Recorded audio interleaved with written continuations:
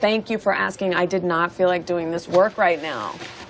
Oh, those look like important papers. What's up? How can I help? Bad news for fans of Brooklyn Nine-Nine. Star Chelsea Peretti has revealed that she won't be returning as a series regular on the Fox turned NBC comedy series. The actress wrote in the first of a series of tweets, I won't be doing a full season of Brooklyn Nine-Nine in season six, but that doesn't mean I won't ever be back. Winky face emoji, heart emoji. I want to thank you for the hours you spent watching Gina be Gina. She then pointed to Emmy Rossum's extensive statement about her shameless departure, saying the actress may have said it best when she spoke about the on-set family she'd be leaving behind. Showrunner Dan Goor responded with his own statement about Peretti's departure, saying, We have tried really hard to create a storyline for her departure that lives up to a character who can only be described as the human embodiment of the 100 emoji. He added, While it's sad to see a member of the family leave, we are so proud of Chelsea and excited for what she does next. Also, I know for a fact that this isn't the last we'll see of Gina Linetti. Hi.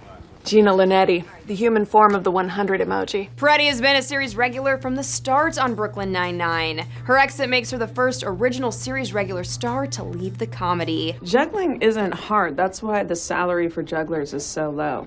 Name one rich juggler. Back in May, Brooklyn Nine-Nine moved to NBC within days after Fox's shocking cancellation. The Andy Samberg-led comedy will return sometime mid-season, with a specific premiere date yet to be announced. So how do you feel that Gina is leaving Brooklyn Nine-Nine? Be sure to let me know all your thoughts in the comments. Until next time, for the Hollywood Reporter News, I'm Tiffany Taylor.